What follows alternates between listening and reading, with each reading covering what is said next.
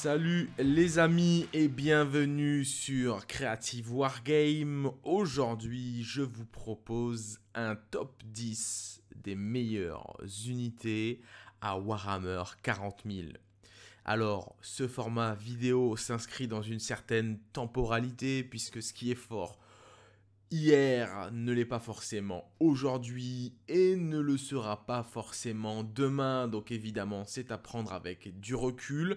Euh, cette vidéo est faite le 19 juillet 2021 et je rajouterai que ça reste mon avis, mon analyse personnelle, qu'il y a forcément d'autres manières d'aborder de nombreuses unités qui auront sans doute pour vous leur place dans ce classement mais j'ai quand même le plaisir de vous présenter le mien après cette bonne grosse année de V9. Euh, première unité euh, que j'incorpore et qui est à la dixième place euh, de mon top, c'est les Necron Warriors, les guerriers Necron, qui à mon sens sont très vite rentrés dans la méta avec l'arrivée du codex Necron et euh, reste une unité qui, à mon sens, n'est jamais sortie des top unités euh, ou des unités top méta qu'on peut rencontrer.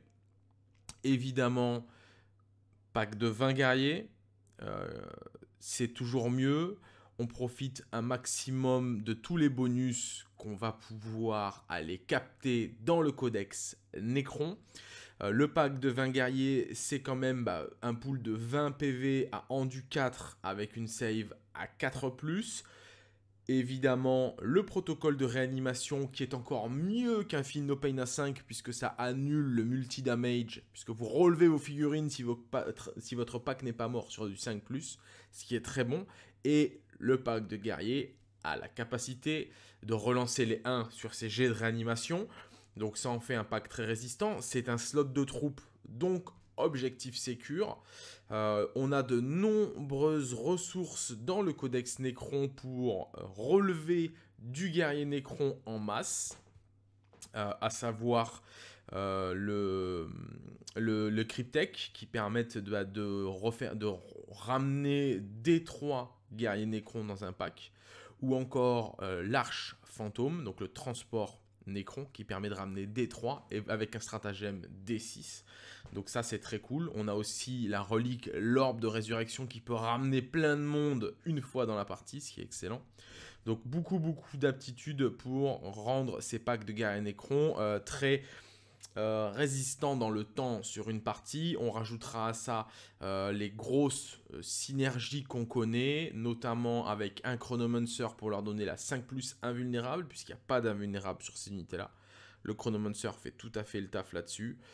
évidemment aussi la petite relique, le voile des ténèbres, pour faire FEP transporter sur la map paquet de 20 guerriers Necron. C'est toujours désagréable pour votre adversaire. Pour votre adversaire. On rajoutera à ça le fait qu'ils se défendent bien au tir, en plus de leur résistance accrue et de la notion d'objectif sécure qu'ils apportent en termes de jeu. C'est quand même euh, avec le Ghost Flyer à 24 pouces, un tir rapide de force 4 PA-1, ce qui veut dire qu'à 12 pouces, vous balancez quand même 40 tirs de force 4 PA-1 avec une CT de 3+. Et vous pouvez éventuellement passer sur du Ghost Reaper avec une arme qui tirera à 12 pouces, assaut 2, force 5, PA-2. Ça fait quand même une belle unité de saturation d'antimasse. Donc euh, les guerriers Necron, à mon sens, sont dans le top 10 actuel des meilleures unités euh, de la V9. Ensuite, à la 9 place de mon classement, je positionne les Blade Guard vétérans, unité que nous avons euh, découvert avec Indomitus et le nouveau codex Space Marines. Euh, les Blade Guards sont une, unité qui se, joue de 3 à 6 figurines, 35 points par figurine. On notera des stats corrects avec une CC, une CT à 3+, une endurance à 4, une save à 3, 3 euh, attaques. Hein. c'est du Primaris, voilà, qui fait plaisir. Euh, mais euh, surtout, ce qui est intéressant avec euh, le Blade Guard, c'est qu'il peut être équipé du bouclier. il est équipé d'ailleurs d'un bouclier invulnérable, d'un bouclier tornade, d'un d'un bouclier tempête qui lui octroie une invulnérable à 4 et un plus 1 à la sauvegarde d'armure. Donc il passe à une 2 plus 4 plus invulnérable.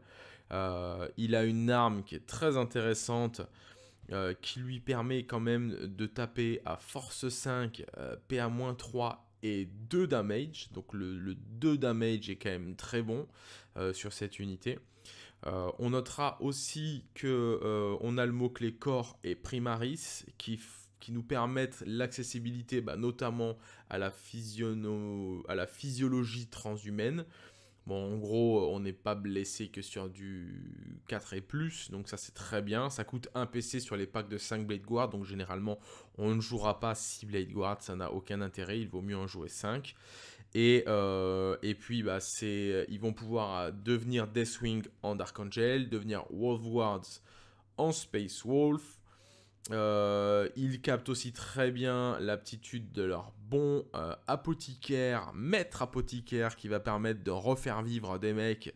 Donc ça c'est très cool. Il y a différents buffs qui sont intéressants. On peut les passer objectif sécure avec des traits de seigneur de guerre.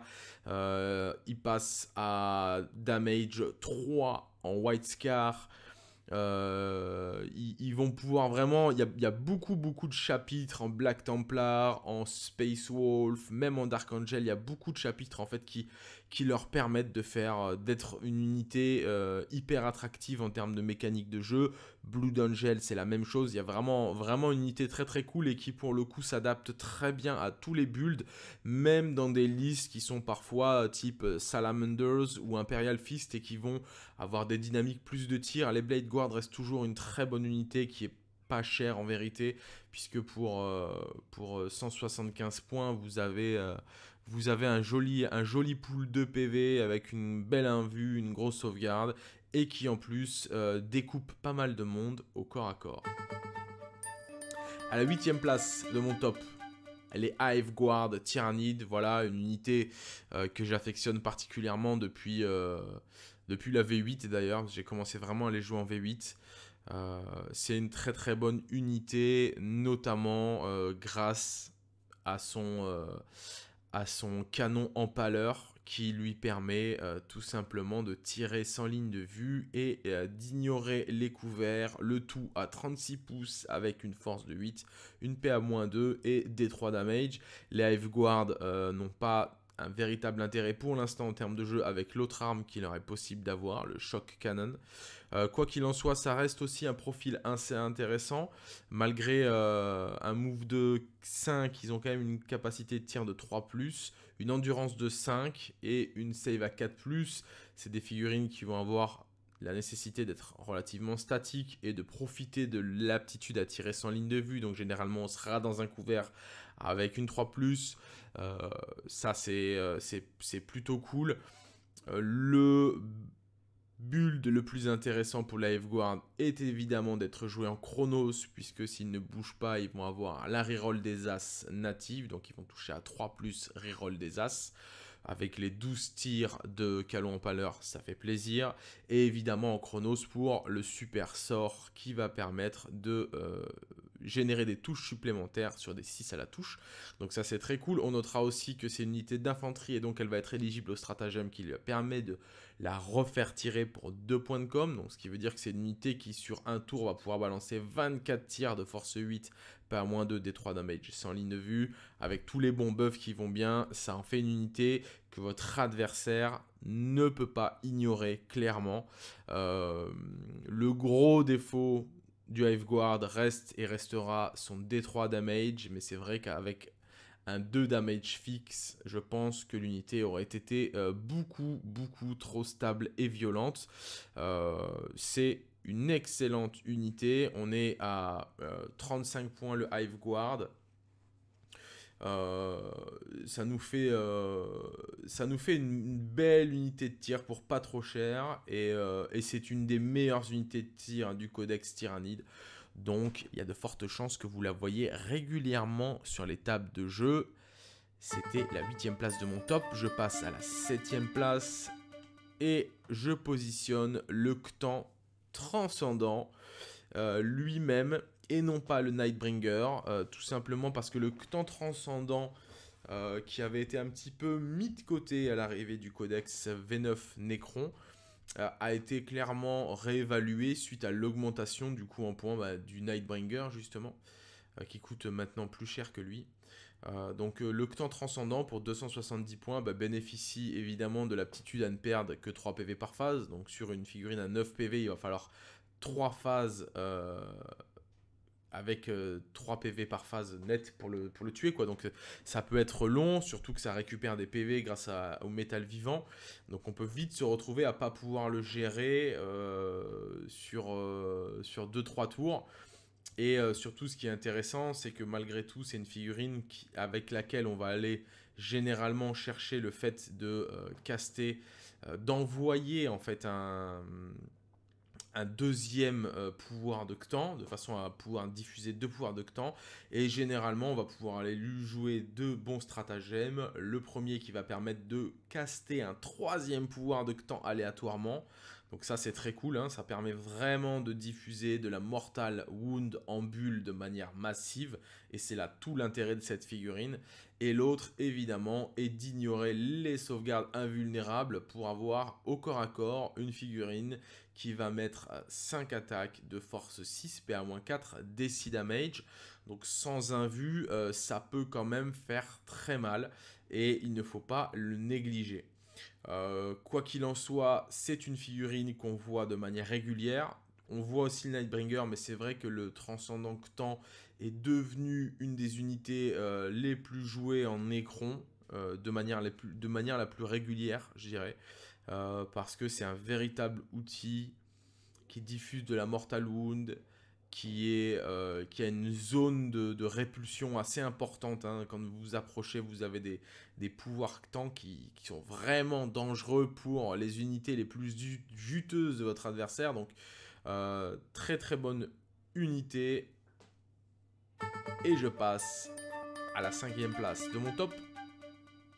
Les Death Shroud Terminator de la Death Guard. Excellente unité que sont les Death Shroud Terminator.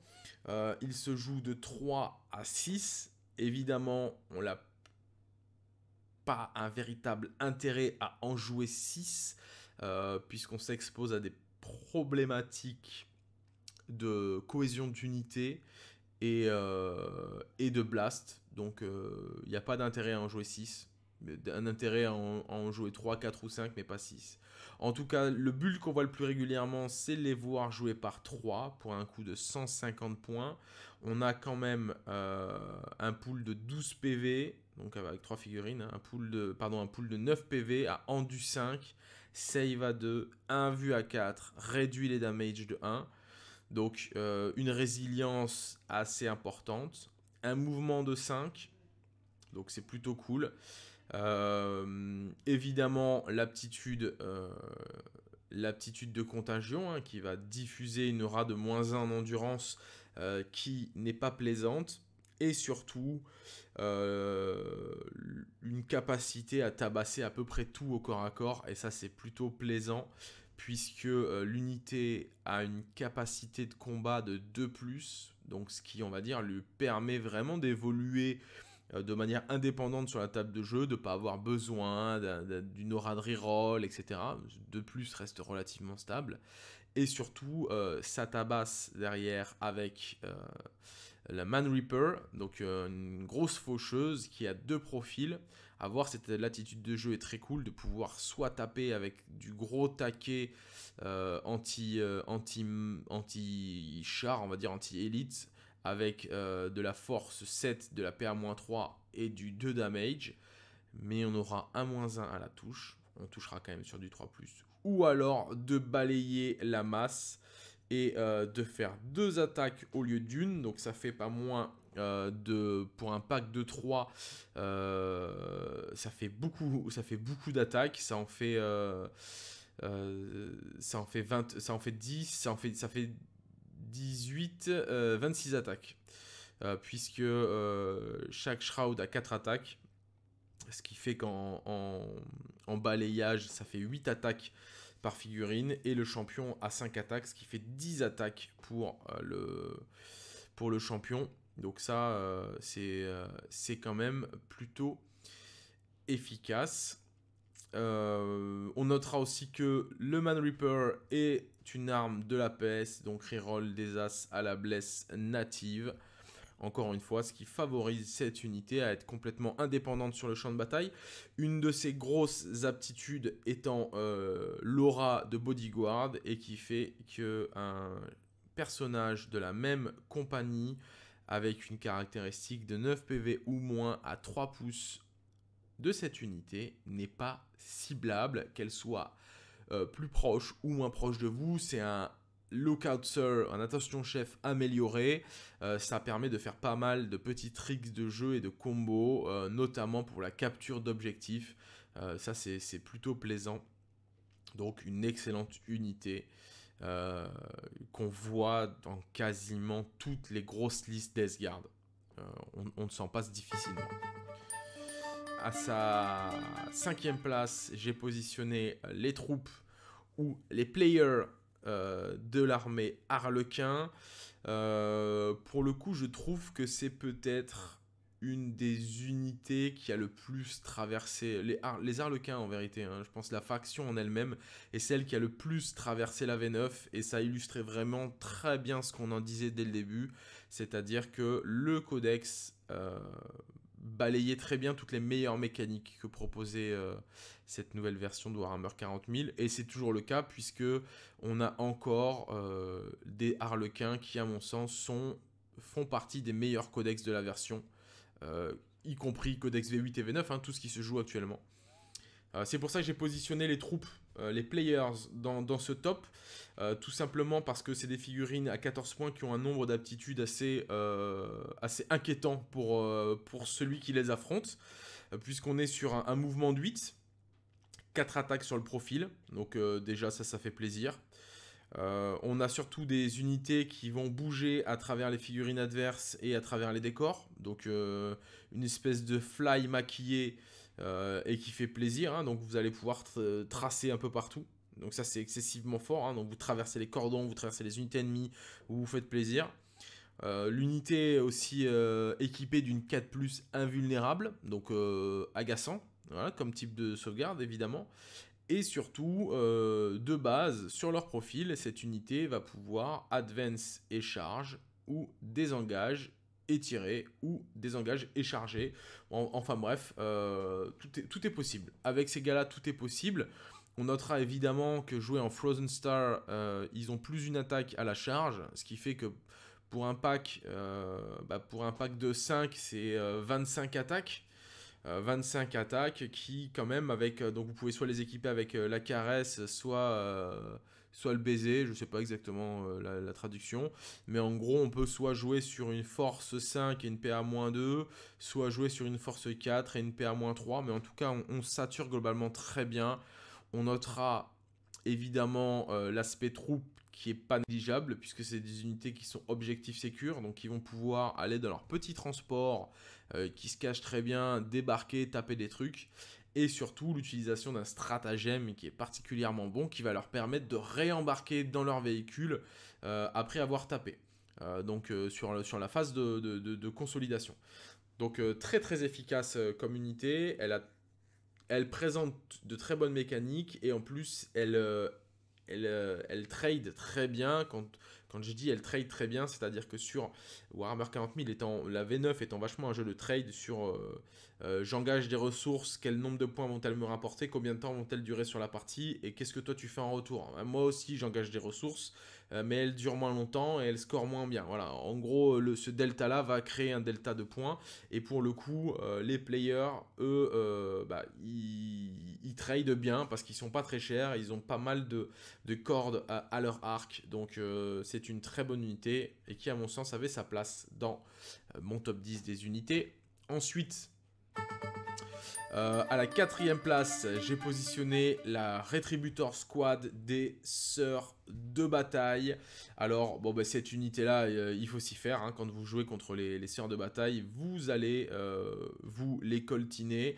La Retributor Squad qui est vraiment pertinente en suaire d'argent, puisqu'elles vont pouvoir profiter du tir de leur arme lourde sans malus et même advance euh, étiré euh, sans malus. Donc là, le, sueur d'argent est très cool et notamment en plus qui offre une reroll à la touche, une reroll à la blesse.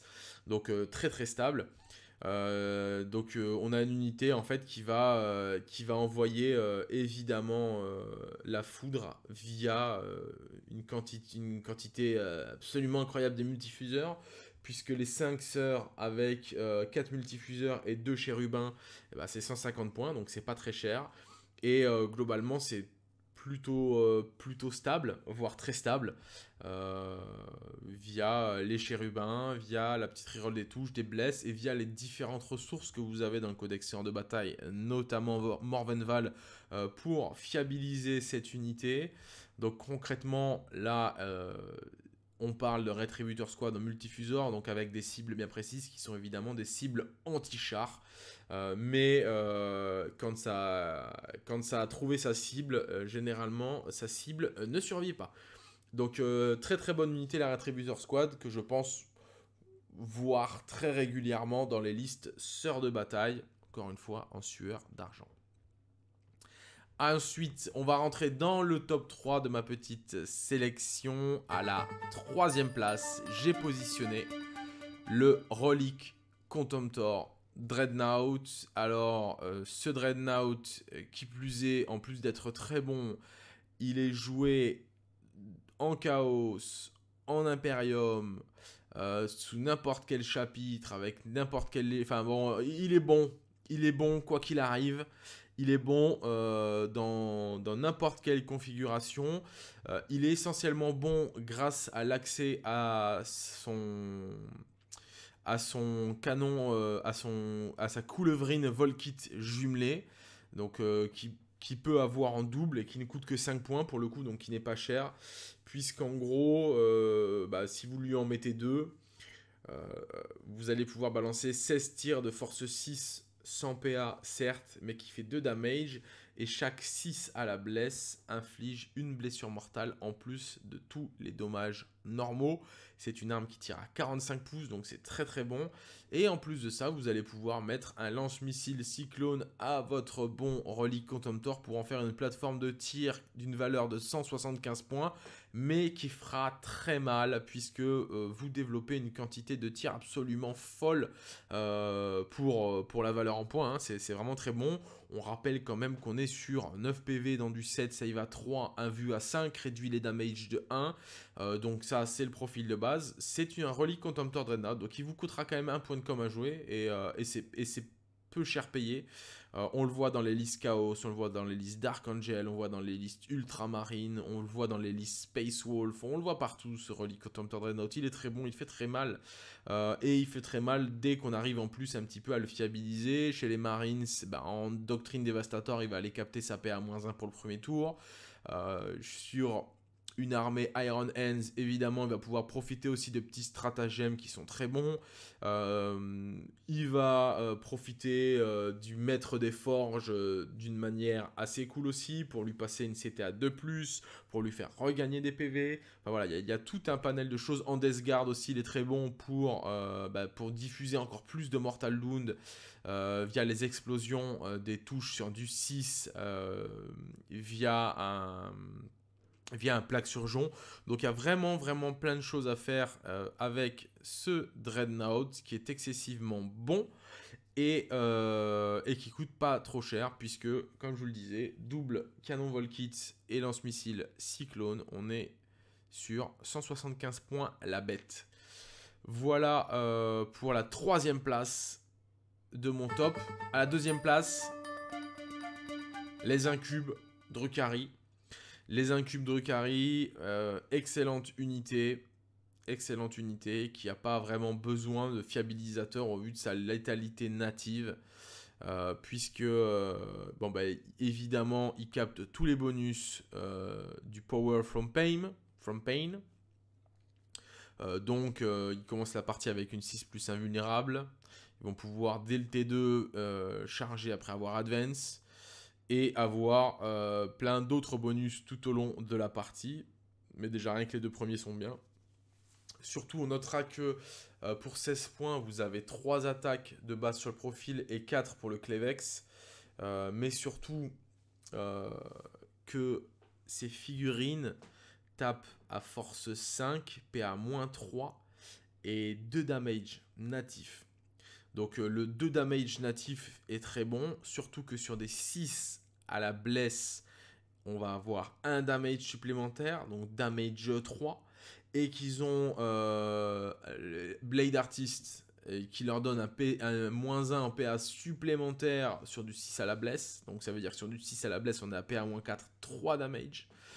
Et que en plus de cela, cette petite unité se paye le luxe euh, sur un test de commandement de vous faire euh, de vous faire un fight class, de vous rendre inéligible au combat. donc pour les unités qui ont des commandements un peu bas, eh ben c'est très désagréable. Euh, donc euh, voilà, on est sur un mouvement de 7, c'est des petits, même un petit pack, donc ça se joue de 5 à, 9 5 à 10 figurines, pardon. Euh, sur un, même sur des petits packs de, de, de, 8, on commence à saturer tellement avec du multi-damage qu'on peut taper plein de choses. Après, il y a des mécaniques dans le codex et notamment via des personnages pour en plus de ça fiabiliser tout ça. Je ne l'ai pas précisé, mais on est sur une capacité de combat de 2+. Donc euh, on est plutôt serein. Euh, très très bonne unité, encore une fois qui trade très bien. Quand généralement vous la prenez dans la mouille, vous n'êtes pas content. Euh, surtout embarqué dans l'excellent châssis qui est le Raiders. Ils sont difficiles à, bah, à, repousser, hein, clairement difficile à repousser les incubes et, et difficile à encaisser aussi. Enfin, à la première place de mon top, je positionne les Skitari Rangers de l'Adeptus Mechanicus. Ils sont arrivés dans la méta telle euh, la météorite impactant la planète et faisant disparaître la totalité des dinosaures présents sur le globe. Bon, bah là, les Skitari Rangers à 8 points la figurine. Euh, Games Workshop s'est un petit peu craqué au vu de la létalité de l'unité et de tous les bonus qu'elle peut capter, la rendant même parfois ultra résistante, plus résistante que euh, les trucs les plus résistants du jeu, hein, on, va, pas se mentir.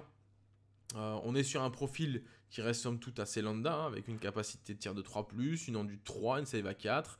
Sauf que bah, le, ranger, il, a, son fusil euh, qui envoie deux pruneaux euh, d'armes lourdes à 30 pouces, force 4, PA-1.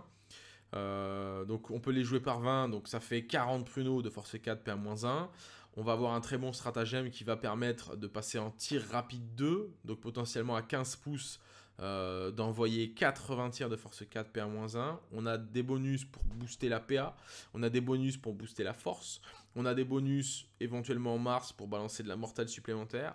On a euh, évidemment tous les bonus des impératifs doctrinaires. Donc on peut passer un plus 1 en sauvegarde, on peut passer un plus 1 en CT. C'est les deux impératifs doctrinaires qui leur profiteront le plus. Et éventuellement, même en mars, on peut euh, cumuler ça avec euh, les bonus des quantiques de l'Omni-Messi. Donc on peut vite se retrouver avec des Skitari qui ont une save à 2+, hein, qui ont plus un save et une save de couvert. Donc euh, un pack de 20 Skitari en save à 2+, si vous n'avez pas de quoi le gérer, bah, vous êtes comme un fruit. On notera quand même que la meilleure composition pour le Skitari Ranger reste en Lucius, puisque vous allez pouvoir caster des bonus qui les rendent... un ultra euh, résistant et deux euh, ultra mobile, hein, puis via un système de FEP, de frappe en profondeur. Vous allez pouvoir euh, passer une physionomie transhumaine sur vos rangers, vous allez pouvoir avoir un plus 1 en save natif quand on vous tire avec du mono damage, cumulé évidemment avec le plus 1 en save de l'impératif doctrinaire, c'est très bon, mangez-en. Euh, voilà, il y, a de quoi éventuellement le moral aurait pu être un problème, mais on a des stratagèmes pour les faire largement tenir au moral. Et surtout, je rappelle que c'est une unité qui ne coûte que 160 points, à laquelle on va payer un Omnispex évidemment pour ignorer les couverts, donc on passera à 165 points, mais c'est une unité qui est ultra violente sur la table de jeu, euh, très difficile à gérer quand vous n'êtes pas équipé pour. Euh, et qui a euh, toutes les bonnes mécaniques de désengagement plus tir, de, de, move plus tir sans malus, hein, parce qu'on est avec une arme lourde. Donc il y a vraiment plein plein de choses pour rendre les rangers absolument abominables pour votre adversaire. Et c'est pour ça que c'est à la première place de mon top. J'espère, les amis, que cette euh, petite vidéo vous a plu. Et si vous m'éclatez le compteur de pouces bleus, je m'engage à vous faire la vidéo du top 10 des moins bonnes unités de la V9, histoire qu'on rigole un peu et qu'on envoie du sel sur les factions les plus récalcitrantes à gagner des parties. Je vous dis à très bientôt pour de nouvelles vidéos sur Creative Wargame. Ciao les amis.